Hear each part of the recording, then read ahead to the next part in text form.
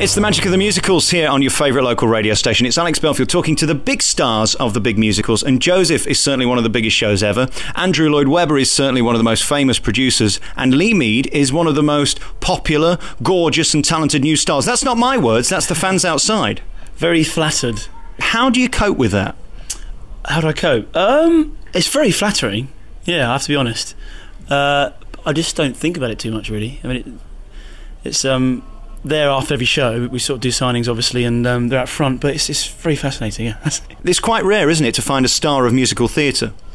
it is. I think actually, and um, it's about, it's about a lot of hard work and uh, dedication to what you do as well. And, uh, you know, there's a lot of celebrities that can go and play parts in the West End, but um, a star is a different thing, and that's what I'm striving towards, hopefully. And you know, 10, 20 years from now, that would be a, a nice gesture if that happened. And is your greatest skill consistency being able to deliver eight shows a week? Because without that, you're useless, really, aren't you? That's very true. I mean, you know, eight shows a week is is very demanding, takes stamina, and uh, aside from that, it's it's how you take on each role that you you're given, and um, yeah, it's, it's it's about dedication and obviously a respect for for the, part you're playing as well.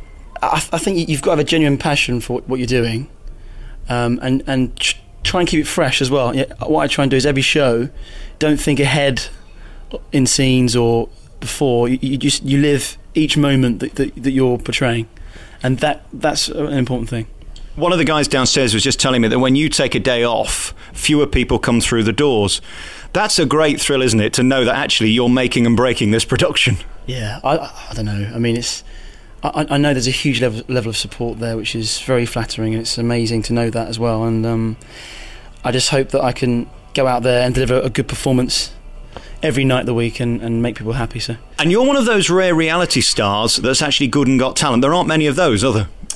Um, questionable, I guess. Um, cases have happened where there- there's, there's been not very talented people that have, have taken on roles, I guess, and won competitions. But yeah, I, I was working for a few years, or seven or eight years before, in musicals, and um, obviously recording and stuff, and, and trained as well. So for me, it meant so much, you know, so much to really achieve that, that goal of, of winning the part.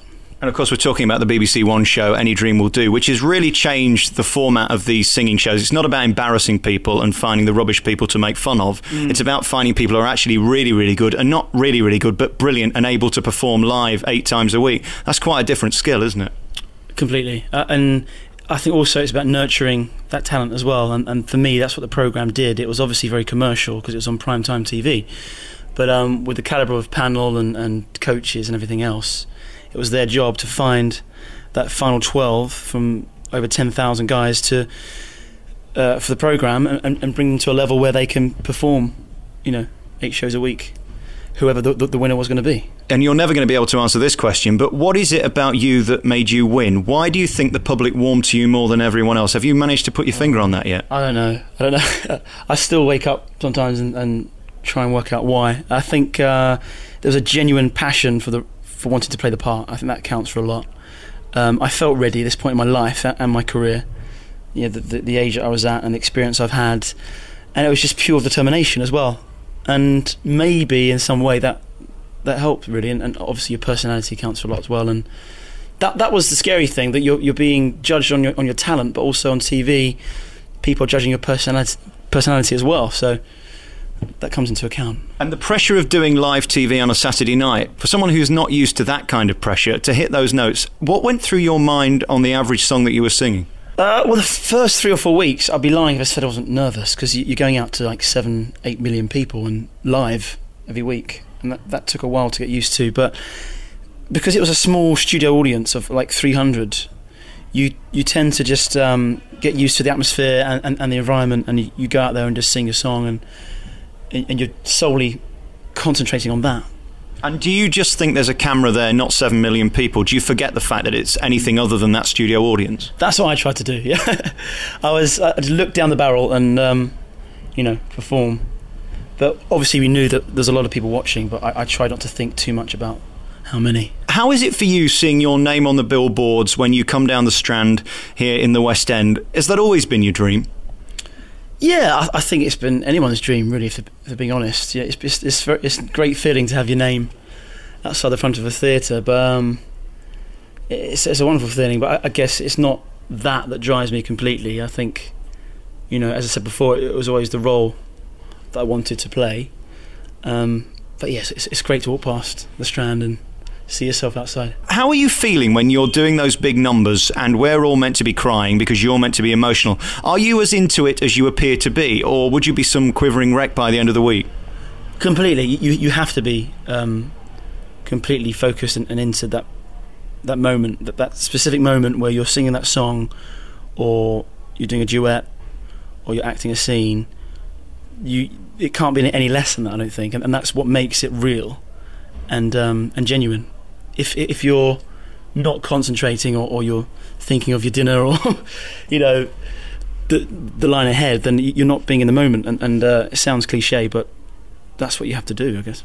I don't think you're going to admit this, and I wouldn't blame you for, for saying it's not true, but you were way out in front very early on in the series. I think Jodie in, in this Oliver program that they've just done was way out in front for most people.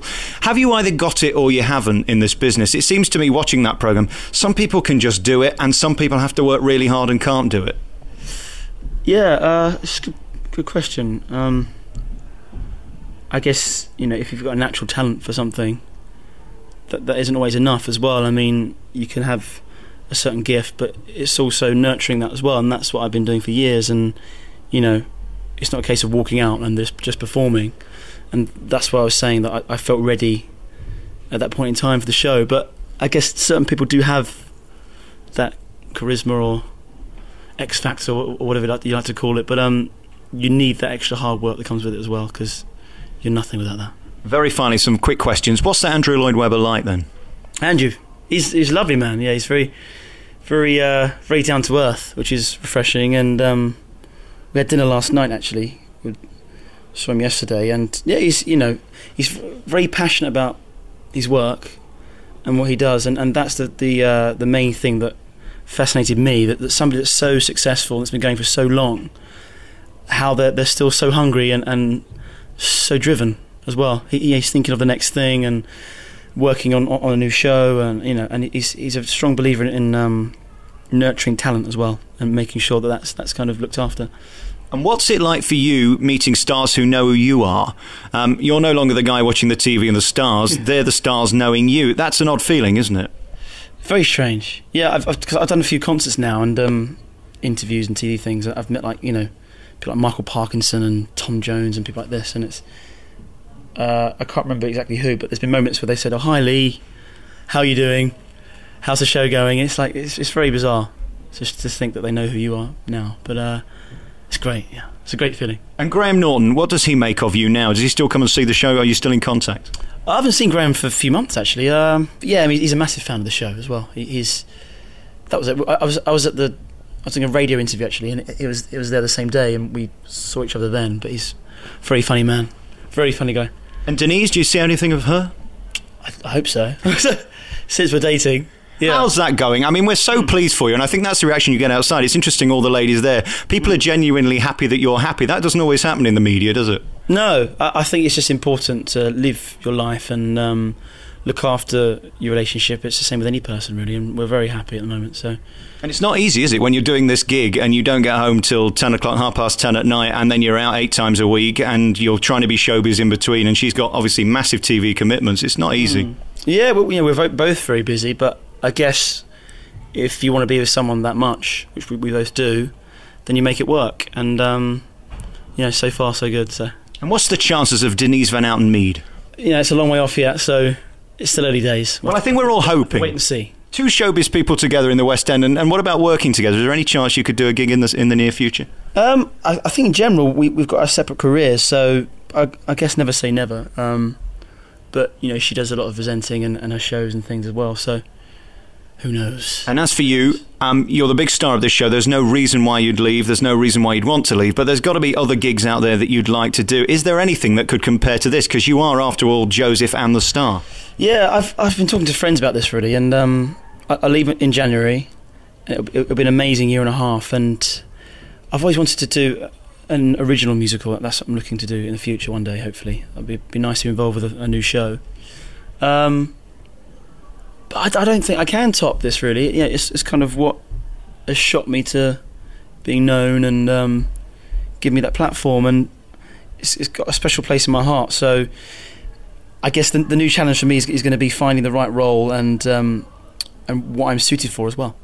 Congratulations on being you. You make it look so easy. Seeing you live and seeing you perform and hearing your voice is just so natural. It's like I said earlier, you've either got it or you ain't. Thank you very and much. I think that's the reason you won that leagues above anybody else, let's be honest. And congratulations on this show. And thank you for talking to me on a two show day. You, you didn't need this, did you? That's fine. Thanks a lot.